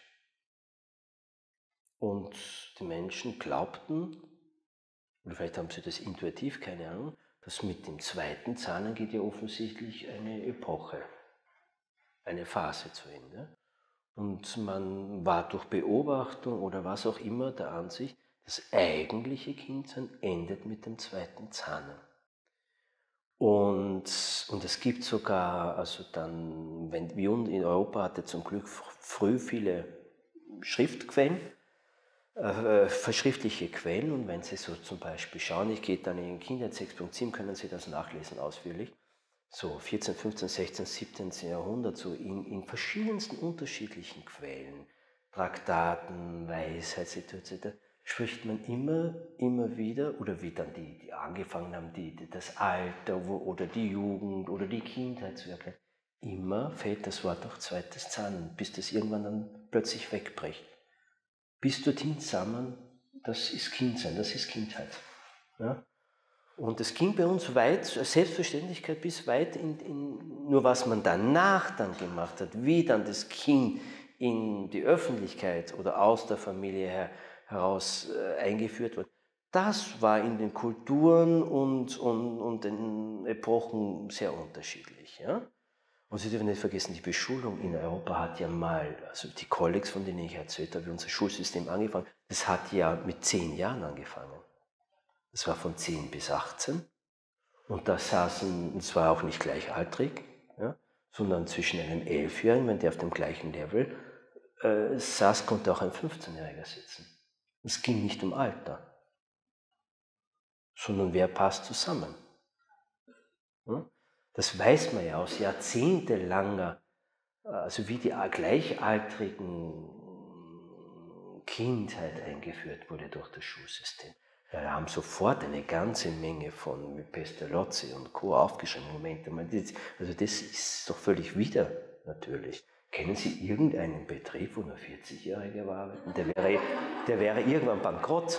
Was, was passiert denn dadurch, wenn ich niemanden mehr habe unter mir und niemanden über mir und vor allem das jetzt schon so lange und jetzt kommen wir zur Gehirnentwicklung, die wie gesagt 18, 19 Jahre lang dauert. Ja? Ich kann nie aufschauen und ich kann auch nie ein soziales Verhalten entwickeln, weil ich kann ihn nicht weitergeben. Ja, was wir wissen alle oder unsere Urgroßeltern haben, haben gewusst, die Großfamilie ist das Beste, weil dann habe ich als Vater und Mutter am wenigsten zu tun, weil die Kinder, die Unteren, machen sowieso alles nach. Ja, und ich habe immer wieder auch durch meine Arbeit in den letzten äh, zehn Jahren auch groß, den letzten Rest gibt es ja vereinzelt auch noch, also im Sinne Großfamilie von, sage ich, vier bis sechs Kindern. Das ist ein Wahnsinn. Ja, also je jünger und je jünger, also, äh, die schauen, hängen sie drauf, schauen, ne? wenn uns weiß man aber heute auch wissenschaftlich, dass der Mensch nicht lernt, indem ich ihm was beibringe, sondern durch Beobachtung. Wie lernen wir die Sprache? Nicht, dass ein Pädagoge sagt, so jetzt lernen wir Englisch. Zuerst hört das Kind über sehr langen Zeitraum zu. Und das eine braucht halt länger, wenn wir nicht einkaufen würden, und das andere weniger lang. Und dann erst fängt es an, selber zu sprechen. Womit wir jetzt bei Ihnen beim Hören waren. Ja? Also das Ohr ist eines der wichtigsten Organe überhaupt ja? für die Gehirnentwicklung. Und, oder sprechen lernen. Ne? Albert Einstein zum Beispiel, das beste Beispiel. Der hat mit drei Jahren erst angefangen zu sprechen. So ein Kind heute hätte bis dorthin mindestens zehn Therapeuten hinter sich. Ja? Weil, weil äh, schauen Sie doch heute mal, ich war ja mit meinen Kindern auch auf Spielplätzen. Geht das schon? Schreibt das schon? Was macht er? Was, der macht das schon? Ja. Und, und er ist doch genauso alt wie mein Hund. Der, es ist nur noch Bewertung, Normierung, Das ist Wahnsinn. Und das, ich mache den Vorwurf jetzt nicht nur an das System, sondern ich frage mich auch, inwieweit nicht auch sehr viele Eltern auch noch bei Verstand sind. Ja, um das einmal hart zu formulieren. Oder wie diese Indoktrinierung einfach auch funktioniert hat. Ja? Äh, aber Einstein hatte halt das Glück, wie so viele andere berühmte Persönlichkeiten, weil damals halt dieser Druck eben auf Familien ja noch nicht war. Das wollte ich mit meinem Vortrag ja auch sichtbar machen. Man vertraute, man hat gesagt, die wissen schon, was sie tun. Und die haben aber eigentlich immer nur das Kontinuum von der vorigen Generation an die nächste Generation weitergegeben. Bis dann eben das kam in Europa, was man Erziehung nennt. Zum Schluss das Bild mit der Schule in China zum Beispiel. Ja? Es ist völlig egal, ob Diktatur oder, oder Kommunismus. Alle haben das gleiche Schulsystem, darüber sollten wir auch mal nachdenken. China hat das deutsche-preußische Schulsystem eins zu eins übernommen. Ob Kapitalismus, Kommunismus, es ist wurscht. Seitdem wir dieses Schulsystem haben, ja, also erstens einmal so früh und so lange außerhalb der Öffentlichkeit und vor allem die gleichaltrigen Gruppe, ja, können sie jedes, jede Ideologie in einer Gesellschaft in 30 Jahren durchsetzen. Flächendeckend. Die katholische Kirche hat tausend Jahre gebraucht, bis sie in Europa die religiöse und weltliche Macht erlangt hat. Heute geht Religion und Ideologie bis uns sogar immer schneller. Schauen, schauen wir, machen wir doch Zeitraffer. Gendermitteln, frühe Sexualaufklärung, Corona äh, und die nächste Ideologie, was nicht da alles. Und es geht immer schneller. Die Schule setzt eins zu eins um und die Eltern gehorchen. Das, das, das, wenn, wenn Sie das in, in, im 17., 18., 16. Jahrhundert, ich meine, die Eltern hätten sich mit Händen und Füßen gewehrt. Also, ihr könnt es irgendwann jetzt machen, was ihr wollt. Aber jetzt lasst mein Kind einmal Kind sein. Das ist einfach, und, und wenn wir aus der Nummer nicht rauskommen, dann schaut es düster aus. Und die Zukunft liegt aber meines Erachtens in, liegt eigentlich an den Eltern. Also ich darf nicht dran warten, bis von oben her, da wird nichts passieren. Da kommt, da wird es immer schlimmer. Ich habe ich hab sie notiert, sofort, eines noch. Ja? Sie sind die nächste. Eines noch. Jetzt war Corona, Ukraine in Deutschland. Mir ist zugespielt worden ein, eine, eine, ein, ein Cartoon in, deutschen, in irgendeiner deutschen Grundschule. Da wird der Russe, ja, da gibt es eine Sprechblase, das böse Monster, der Russe. Ja? Und schon vor Jude jetzt der Russe. Ja? Putin ist kein Demokrat, das ist aber Merkel auch nicht und Macron auch nicht. Ja? Und äh,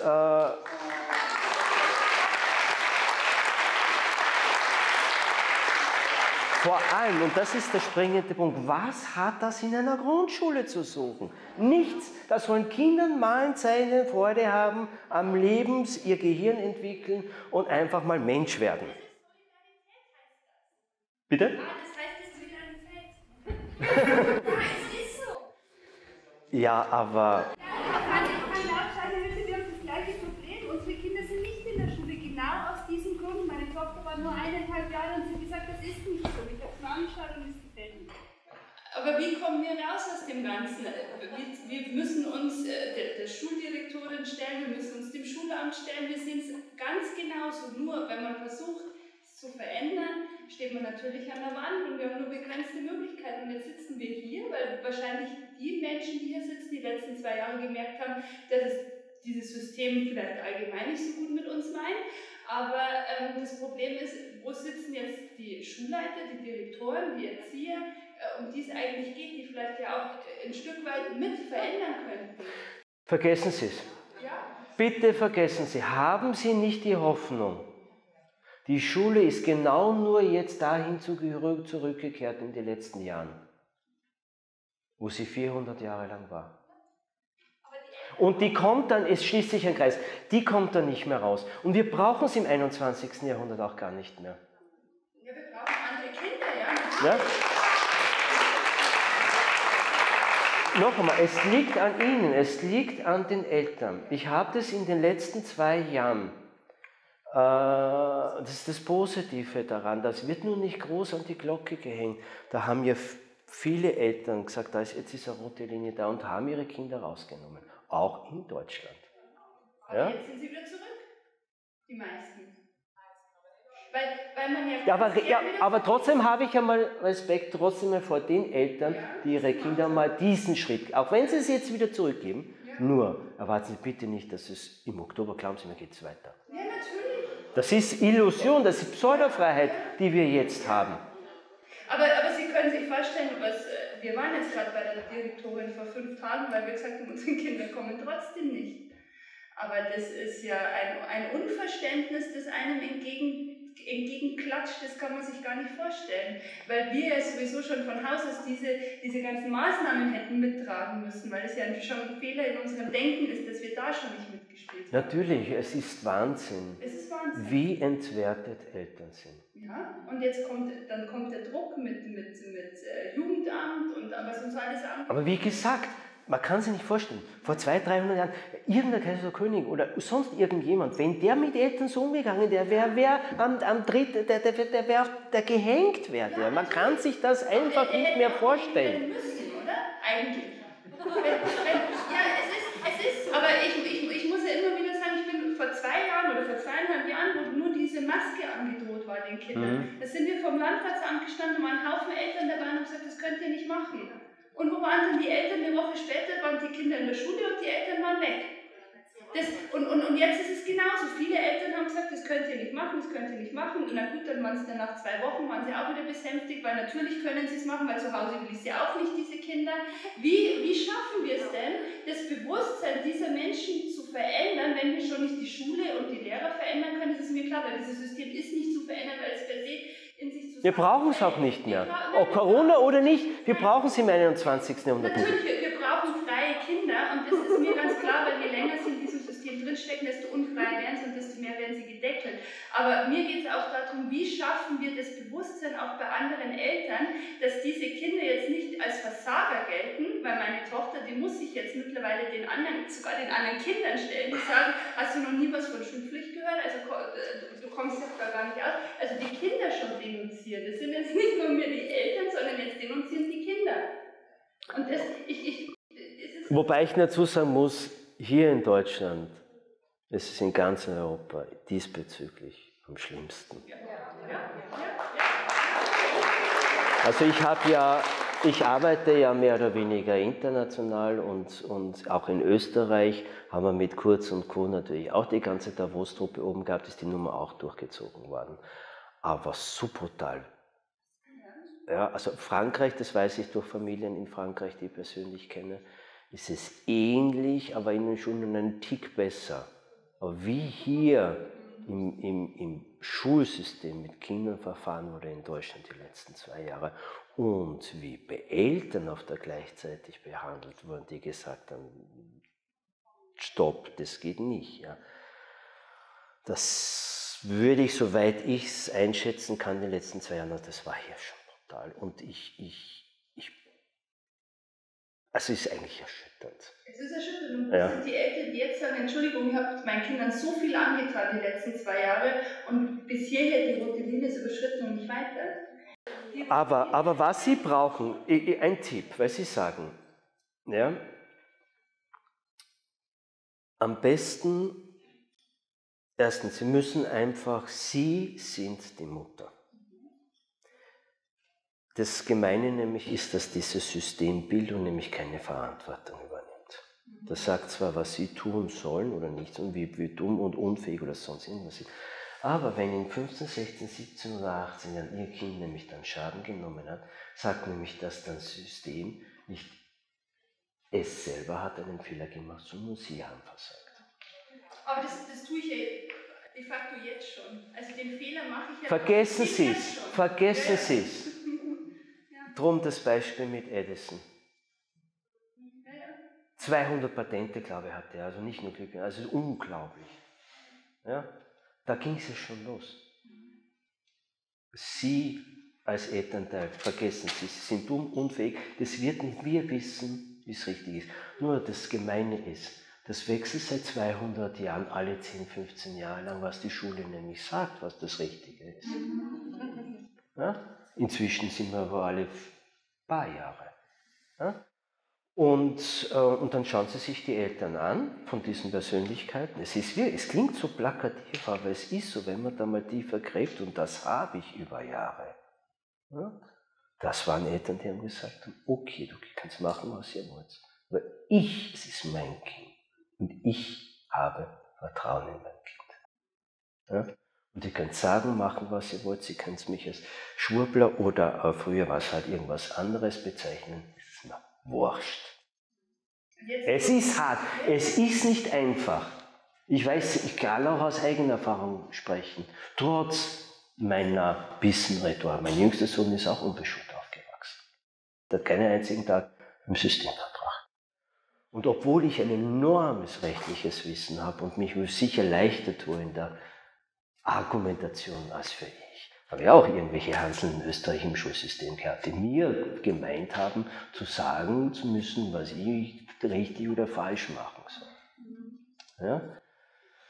Und der hat zwei Jahre lang keine Maske getragen. Da war, um, um, um zu verdeutlichen, was passiert eigentlich, wenn man so aufwächst. Da waren zum Beispiel Situationen, immer wieder, auch die letzten Jahre, nur als, äh, einmal aus, aus privat, aus, aus eigener Erfahrung. Ich bin ja auch immer noch nicht nur Autor und Wissenschaft, ich bin auch Vater und habe einen Alltag auch immer wieder. Ja? Stehe nicht nur auf der Bühne. Und da war es immer wieder Situationen, wo ich mit meinem Sohn, da, also der ist jetzt, wird jetzt 15, also Corona ist mit 13 losgegangen, ja. Und hat sich verweigert von Anfang an. Ich gesagt, okay, ja, kein Problem. Und da gab es dann immer wieder auch, auch Situationen, wo halt dann es ideal gewesen wäre, wenn er eine Maske aufgesetzt hätte, nur kurz, damit er halt da reinkommt, irgendein bestimmtes Geschäft oder sonst irgendwas. Und dann habe ich gesagt, naja, ich meine, ist nicht mal jetzt für die zehn Minuten oder eine halbe Stunde. Er hat sogar darauf verzichtet.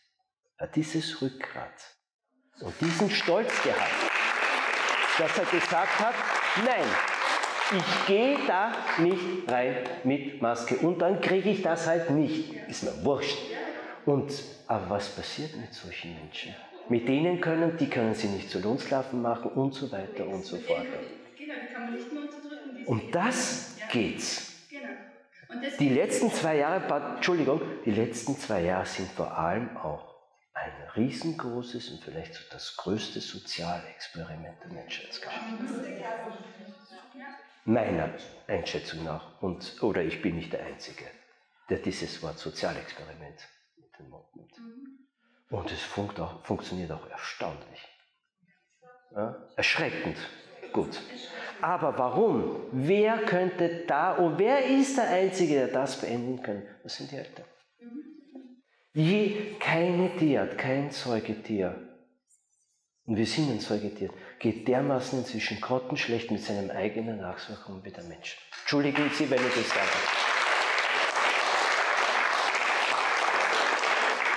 Jede Löwenmutter, jeder Bär, alle Säugetiere verteidigen und schützen ihr Kind so lange, je nach Tierart unterschiedlich, bis es selbstständig ist und selbst sich wehren, verteidigen etc.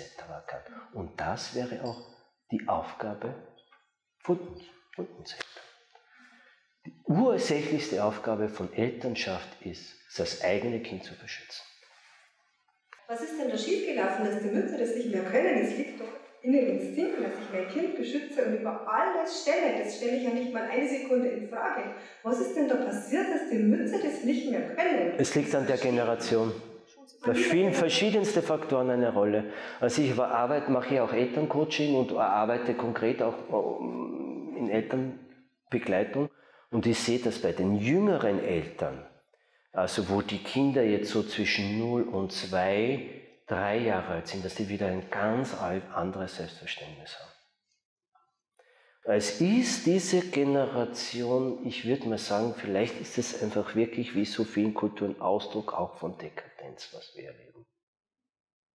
Als Sättigung, alles drehte sich Jahrzehnte um Konsum um Karriere, um mein Ich als Elternteil, um meine Selbstverwirklichung und, und, und, und, und.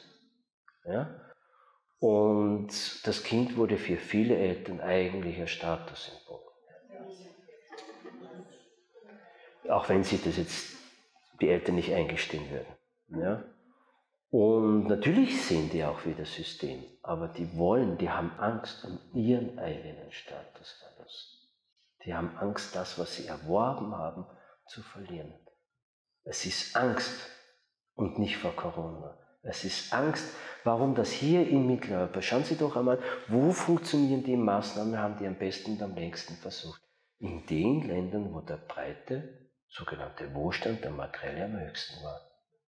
Man hätte Lockdown und so auch in anderen Ländern, in ärmeren Ländern, da war die Revolution, das haben sie, ich weiß nicht, war das Ecuador oder irgendwo, haben sie nach zwei Wochen sofort abgebrochen. Ja? Hätten die, die, die hätten nicht überlebt, die Politiker. Also, vor allem, die haben ja nichts. Und die haben auch nichts zu verlieren. Es ist die Angst um den eigenen Status. Und mit dieser Angst das Alte, und das ist das Fatale der letzten zwei Jahre, das Alte zu behalten, lassen sich, das sowieso nicht mehr kommt. Ja? Und war wirklich in den letzten 30, 40 Jahren alles so optimal? Also ich kann nicht sehen, dass die letzten 30, 40 Jahre so wunderbar und perfekt waren. Im Prinzip müssten wir es machen, dass wir sagen, okay, lieber Herr Schwab, Sie wollen ein Great Reset, eine neue Normalität. Super, tolle Idee. Machen wir. Ist höchste Zeit. Aber nicht so, wie Sie das vorstellen, sondern wie wir das wollen. Das wäre das, was wir eigentlich aus der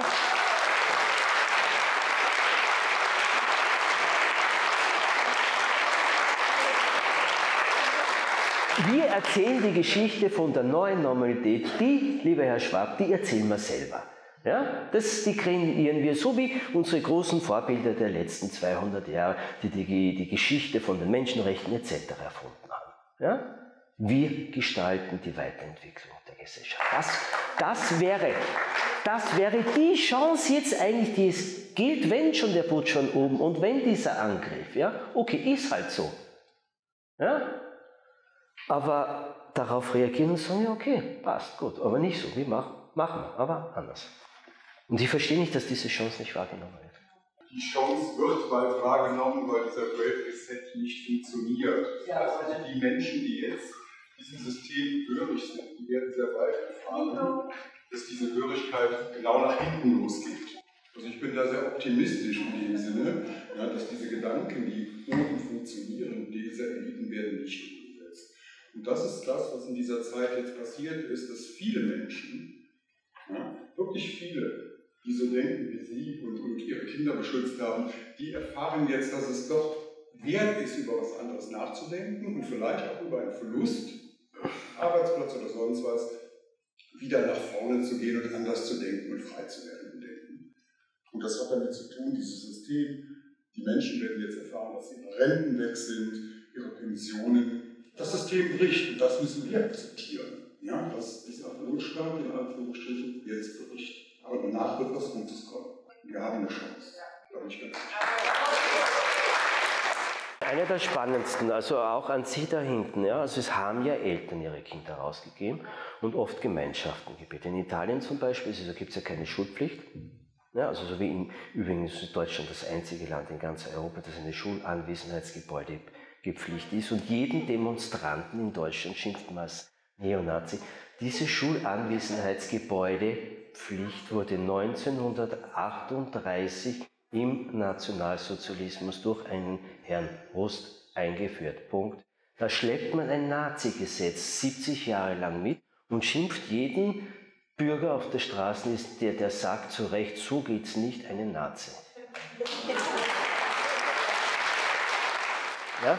Und das Spannende ist, ja, also wie aber vergessen Sie es, letztendlich als Eltern, Elternteil, ich habe viel mit Eltern in den letzten zwei Jahren in Berührung gekommen, die eben ihre Kinder, also ich, ich habe sowieso immer sehr viel auch mit Eltern, die ihre Kinder nie im System gehabt haben, aber auch mit Geld, Eltern, die es jetzt rausgenommen haben wegen den Maßnahmen. Und das war für mich so spannend. Ja? Also so die, die meisten Ge Ge äh, Reaktionen, eine, eines dann aber so unglaublich, wie ruhig und friedlich der jetzt plötzlich ist. Wie kreativ der plötzlich ist. Wie und, und, und, und. Ja, die plötzlich keine großen familiären Konflikte mehr haben. Die Frieden im eigenen Eimer. Ja? Weil der springende Punkt ist, was es gibt. Es gibt ein Buch, das ich wirklich empfehlen kann, das ist von John Della Ghetto, eine, ein, ein, in Amerika sehr bekannt oder der, der berühmteste Schul ehemaliger Lehrer, x-mal ausgezeichnet als war Best Teacher of New York und, und, und, und. Also nicht irgendjemand aus dem System, das irgendwann einen Tag ausgestiegen und hat als Rücktrittserklärung ein Buch geschrieben, ein kurzes Büchlein. Das ist das beste Schulkritikbuch, das ist jemals in den letzten 400 Jahren geschrieben worden. Heißt Dumping aus Down. Die äh, Übersetzung heißt äh, verdummt nochmal. Und, und er hat als, kaum ein anderer so präzise herausgearbeitet, was ist eigentlich das Problem dahinter bei dieser Schulsozialisation. Das ist, wie es er nennt, der geheime Lehrplan. Das ist das, was einfach mit dem Menschen ohne böse Absichten passiert. Dieses System verformt den Menschen so sehr, und zwar nicht zum Guten, sondern zum Schlechten. Ja? Und darum sind diese, erleben dann die Eltern, wenn die ihre Kinder eigentlich rausgenommen, aber gar nicht eigentlich, weil die sozusagen auf meine oder andere Linie sind, sondern einfach nur als Schutz, sagen, jetzt reicht. Und die haben durchwegs die Erfahrung gemacht, boah, wieso ist jetzt plötzlich so anders? Dauert natürlich ein paar Wochen oder ein paar Monate in der Regel, ja. Aber die, das ist einer der, der meisten Erfahrungen also von Eltern, die in den letzten zwei Jahren, ja, Italien zum Beispiel, weil die ja keine geschult Gebäude, da ging das quer durch die, wirklich in die bürgerliche Mitte rein. Also nicht nur jetzt äh, irgendwelche Freilerner oder, oder sonst irgendwas, da haben die Eltern gesagt, es reicht. Ja? Und dort zum größten Teil ist so, die geben die meisten auch nicht mehr zurück weil sie Angst haben, dass das Positive, das jetzt an ihrem Kind sichtbar ist, wieder verschwindet. Es geht ja jetzt inzwischen wirklich um Schaden zufügen. Es, wir reden jetzt ja nicht einmal von Interaktionen. Hier werden Kinder seit zwei Jahren an Kinder misshandelt. Es wird ihnen gesundheitlicher Schaden zugefügt. Ja, das ist ja nochmal eine andere Qualität. Mein Ältester hat eine Zwischenzeugnis gekriegt in Ballia, ohne Noten. Da hat der Lehrer die Wahrheit gesprochen. Der, der Schüler ist erst seit einigen Tagen wieder in der Schule und daher wurde keine Leistungsfeststellung, war keine Leistungsfeststellung möglich. Mein Zweitgeborener ist in der vierten Klasse, hat ein Übertrittszeugnis bekommen mit lauter Sechsen. Also die Bestrafung geht jetzt nicht nur auf die Eltern los mit Bußgeld, also haben wir gerade im Moment mit 3700 Euro. Seit November bis jetzt muss ich Bußgeld bezahlen, für das, dass ich meine Kinder beschütze. Nein, es geht auch noch jetzt auf die Kinder los, dass die Kinder sich in der Schule rechtfertigen müssen vor den Klassenkameraden, warum sie lauter Sex haben. Und dann kommt das die Tüpfelchen, dass sie dann sagen, die anderen Kinder, du bist ja so dumm, du hast ja nichts mehr. Dass aber mein Kind zu Hause, da haben wir einen landwirtschaftlichen Betrieb, am Acker draußen Arbeit, voll, vollwertige Arbeit macht, wie ein Erwachsener, mit einer Maschinerie im Wert von 120.000 Euro unter seinem Arsch, vollwertige Arbeit leistet und vom Leben mehr Ahnung hat wie manch ein Lehrer oder Rektor, das wird einfach.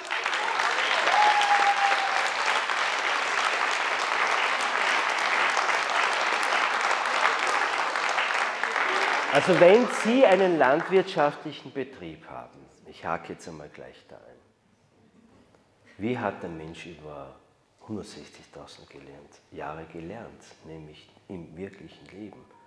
Dort lernt er mehr für die Zukunft als in jeder Einrichtung. Ja? Man hat ja, im, im, wo kommt die Kinderarbeit? Das ist ja auch so eine fatale Geschichte in Europa im 19. Jahrhundert, wie dann diese erste große Industrialisierungsphase war, die Kohlenbergwerke etc. Da wurde ja die erste große Sprengung des Familiensystems, da kamen die die Eltern wie die Kinder Übrigen in die Fabriken, ja, in den Kohlekraftwerken, in, gehen Sie mal in irgendein Kohlekraftwerkmuseum. Ne? Die Schächte waren so kleine. Warum? Weil die Kinder das Ganze rausgeholt haben. Da braucht man nicht so viel Butten wie die Achse, geht einfacher. Ja? Das heißt, man hat mit Kindern immer nach Belieben in Europa das gemacht, was man gerade gebraucht hat. Ja? Und einer der größten Eisenbahnpioniere, Storch Stephenson, musste mit 14 Jahren in einer Kohlegrube arbeiten. Die Eltern waren so arm, dass sie sich ein Schulsystem, die Schule nicht leisten können. Die waren bitter, bitter arm. Der hat in einer Kohleberggrube gearbeitet. Dieser George Stevens, der mit 14 Jahren in eine Kohlegrube gekommen ist, 15 Jahre später war er der größte Eisenbahnpionier. Das war der größte Geschenk, die Armut seiner Mutter, dass sie nicht in die Schule gegeben hat. Die Frage ist trotzdem generell, welche Möglichkeit haben jetzt eben die Eltern? Einfach machen, ein Problem, das ich, das ich immer wieder erlebe. Das Problem unserer Kultur ist Angst, Angst, Angst, Angst, Angst, Angst, Angst. Und in den meisten Menschenfällen unbegründet. Es ist ja nicht nur die Angst von oben, die geschürt wird, sondern die Angst, Sie müssen einmal als Elternteile Ihre Angst. Und dann wird sie, je weniger Angst haben, desto besser wird es auch gehen. Und in Gemeinschaft. Weil die Familie, diese Kernfamilie, die gab es in Wahrheit ja gar nicht. So eine Familie war die befreundete Familie im Dorf, das waren die Großeltern, das waren Freunde und Bekannte, die einen unterstützt haben. Ja? In der Geschichtsschreibung nennt man das die sogenannten intimen Gemeinschaften. Das war die Kernzelle aller Kulturen, ob jetzt in, in, in Persien, ob im arabischen Raum, ob bei den Indianern, ist wurscht, die sogenannte intime Gesellschaft. Aber mit so einer Gesellschaft, denen können sie eben nicht, mit denen können sie eben nicht machen, was sie wollen, weil die haben Zusammenhalt. Und die können sie, wenn Not ist oder sonst irgendwas, gegenseitig helfen. Ja? Aber das ist der Schlüssel. Und das ist der Schlüssel auch fürs 21. Wir können die Maschine und den Computer für uns arbeiten, das können wir alles mitnehmen. Aber das ist eigentlich, da müssten wir eigentlich, wir stehen auf einer Epochenscheide. Über Jahrhunderte oder Jahrtausende. Wir brauchen eine völlig neue Art des Zusammenlebens wieder. Und wie wir überhaupt als Menschen leben. Und dazu brauchen wir nichts anderes tun, als unseren Kindern wieder dieses alte Lied vom Lied erklingen lassen. Bevor noch es wir geschafft haben, mittels Genmanipulation den Homo sapiens, so wie er ist, zu zerstören weil es genau richtig so wie er ist. Über 160.000 Jahre wurde in unser Wissen, unsere Gene auch Liebe eingespeist. Und die Typen, die da oben sitzen, die haben eines nie kennengelernt, nämlich Liebe von ihren Eltern.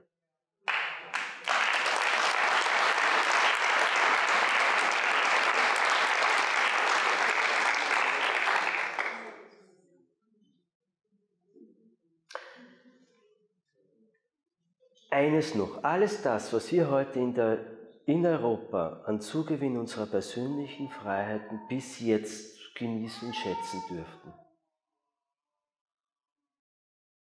Freiheit der Berufswahl und, und, und. Das alles. Keine ein einziges dieser Menschen- und Grundrechte ist die Idee eines Politikers gewesen. Das haben Menschen in Bewegungen über 200 Jahre erkämpft. Das haben wir nur vergessen. Und Menschen zum Teil, die ihr Leben lang ihr Leben dafür gelassen haben. Freiheit ist in der Geschichte noch nie verloren gekommen. Noch nie, seitdem wir Herrschaft und Politik haben. Noch nie. Das müssen sie und wir alle. Und je mehr sind es, dann haben die ihre Macht verloren. Die sind so schnell weg, wie sie da waren. Aber dazu müssten wir mal untereinander mal wieder in den Austausch kommen und im Kleinen einmal anfangen, wieder Gemeinschaften bilden. Das ist der Schlüssel für die nächsten Jahre und die nächsten Jahrzehnte. Und dann sehen Sie, brauchen Sie keine Angst mehr haben, dann funktioniert es auch. Was hat Sie denn motiviert, nach Italien zu ziehen? Darf ich mal eine persönliche Frage stellen? Äh, meine Familie in Schutz bringen. Ich habe ja vor, bevor ich jetzt äh, nach Italien gezogen bin, ja in Deutschland gelebt, in Leipzig. Und weiß, wie in diesem Land mit meinen Kollegen, egal aus welcher Disziplin, verfahren wird. Ich habe zwar nie Anfechtungen oder irgendwelche Probleme gehabt, aber das, ich bin Historiker. Und du musst halt also ich wollte mir einfach den Vorwurf nicht machen, meinen Frauen und Kindern gegenüber irgendwann sagen zu können, ich habe im falschen Optimismus.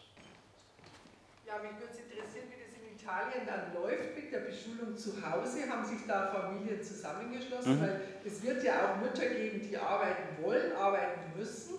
Also äh, kann man nicht vorstellen, dass jede Mama zu Hause sitzt und ihre ein, zwei, drei, wie auch immer. Die wechseln sich ab. Da schließen sich drei, vier Familien zusammen genau. und einmal ist das Kind dann bei der Mutter oder bei der Mutter, wenn die arbeiten muss. So einfach läuft die Geschichte. Die Kinder haben eine Kontinuität, ja. Ja, dass sie immer mit den gleichen Kindern zusammen sind, aber halt nur einmal in deren Wohnung oder deren. Aber sie müssen sich an staatlichen Lehrplänen orientieren also bis vor ein, zwei Jahren. Man will ja, also die Kindheit noch einmal, wie die wenigsten wissen, wurde ja auf 18 Jahre ausgedehnt. Wahnsinn, was da passiert ist und dass das nie eigentlich öffentlich diskutiert wurde. Aber das nur nebenbei. Ähm, und Italien hat auch ja, vor ein oder einem Jahr, glaube ich, jetzt zumindest den, den häuslich, also die Externistenprüfung eingeführt. Bis dorthin gab es überhaupt nichts. Die kriegen natürlich, haben natürlich mitgekriegt, die Abwanderung. Die haben alle Angst, die Schulen sind irgendwann leer. Weil die meisten Eltern eben die Erfahrung haben, oh hoppala, es geht auch anders. Ja? Und das ist die große Panik, dann darf man nicht vergessen, was auch seit Jahren nicht diskutiert wird, dass Europa vor einer demografischen Implosion steht. Europa ist vollkommen überaltert, etwas, was nicht diskutiert wird.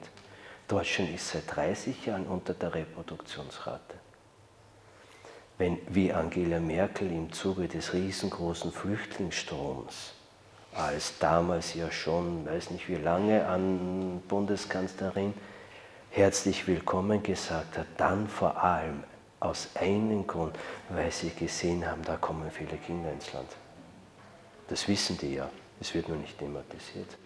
Aber das funktioniert ja in Italien, also in Österreich ist es ja auch immer schon erlaubt gewesen, der sogenannte häusliche Unterricht. Ja, also seit dem 18. Jahrhundert, seit der Einführung der Schulpflicht in Österreich, ist bald auch die Befreiung von der Schulpflicht. Weil, was glauben Sie, was hat das aufstrebende, gebildete Gebürgertum gesagt? Moment einmal, und wir unsere Kinder da nicht rein? Gegen Bildung haben wir nichts. Und so wurde der häusliche Unterricht in Österreich eingeführt und in ganz Europa. Und in Italien liegt es sowieso, und das ist ein springender Punkt, wie auch in, in zum Beispiel in England, liegt die Hoheit der, der, der, der Bildung bei den Eltern in der Verfassung verankert und nicht beim Staat. Die Eltern können die Schule als Angebot nutzen. Und es gibt ja nichts dagegen einzuwenden, wenn das System mal anders wäre. Einer der spannendsten Forschungsergebnisse dazu ist, dieses alte Schulsystem hat man herausgefunden, passt für 40, 20 bis 40, maximal 40 Prozent der Kinder. Aber wieso lassen wir die 60 Prozent durch den Rost fallen? Ja? Und ich ihm, und, und es ist auch nicht jede Art von Bildung und jede Art von Schule. Manche Kinder finden sich in einer Montessori, manche in einer demokratischen Schule wohl, etc. Was wir brauchen, ist einfach nur Vielfalt. Ich habe nie gesagt, dass der Mensch nicht gefördert, gestützt, gebildet werden sollte. Aber wo sind die gebildet? Ich kann seit zwei Jahren nirgendwo gebildete Menschen sehen. Sorry. Ja, also was ist, und vor allem nicht oben. Ne? Und mit diesem System, wer erfolgreich dieses System, wer ein Leben lang sich als Objekt gemacht hat, machen lassen und es nie bewusst worden ist, das sind dann diejenigen, die dann oben sind, die das System nach oben spielen und die dann andere zum Objekt machen. Und wie gesagt, noch einmal, wer da ausbrechen kann, also die, ich würde so weit gehen, im Moment liegt die Zukunft der Menschheit an den und vor allem auch nachfolgenden Eltern. Warten Sie ja nicht, verschwenden Sie keine Energie, dass sich das oben, von da oben was besser wird. Das setzen Sie als falsche Feld. Es geht um Herrschaft, um nichts anderes. Um Kontrolle und Macht. In der Nummer da seit zwei Jahren. Natürlich gibt es Corona und natürlich gibt es Influenza. Es gibt tausende Viren und die gibt es seitdem es den Homo sapiens gibt. Und wenn der Homo sapiens vor tausend Jahren oder vor 10.000 Jahren sich so aufgeführt hat wie wir die letzten zwei Jahre, dann würden es den Homo sapiens schon lange nicht mehr geben. Ja?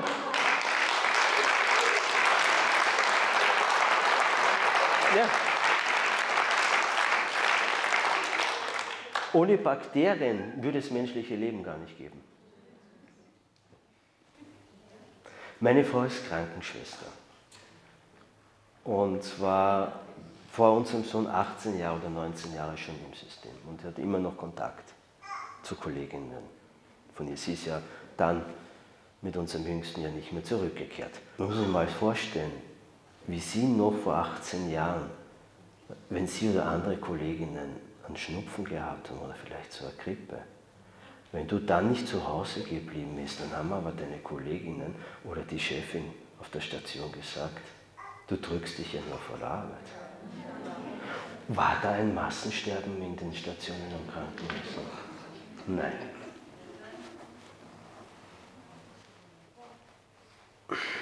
Also irgendwie,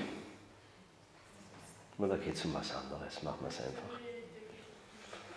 Ja, aber bleiben wir bei Kindern und Familie. Gibt es nur eine Frage, ist noch zulässig vor, vor der Bar? Ja, Herr Winter, Sie haben so wunderbar ausgeführt, wie sich das historisch alles entwickelt hat und jetzt sind wir ja hier in 2022. Und äh, wie ist denn Ihre Vision? Also wie geht es denn in Ihren Augen weiter oder was ist eine große Chance, die sich gerade bietet? Ähm, ja, in der Vielfalt, die Sie gerade angesprochen haben, oder vielleicht können Sie da noch ein paar, Passagen Stichwort Vision.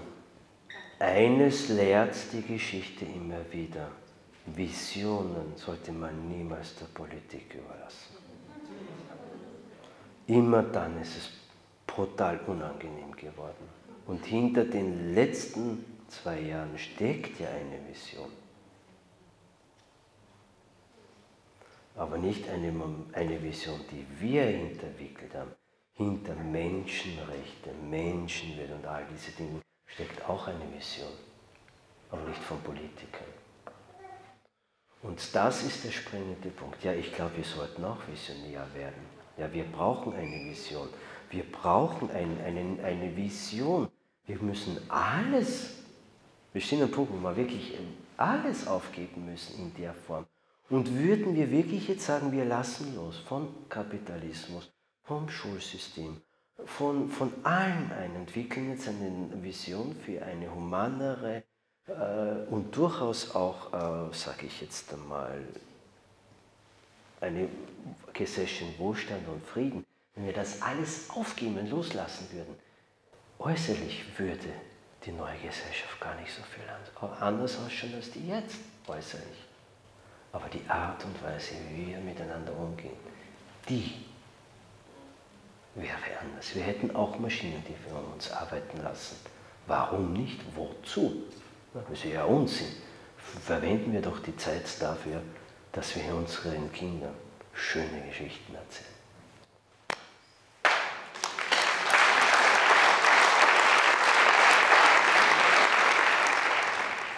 Ich sage mal an den Veranstalter meinen großen Dank für die Einladung. Es war mir ein Vergnügen, hier in Landshut zu sein. Und ich habe schon lange nicht mehr so ein tolles Publikum gehabt. Ich komme wieder.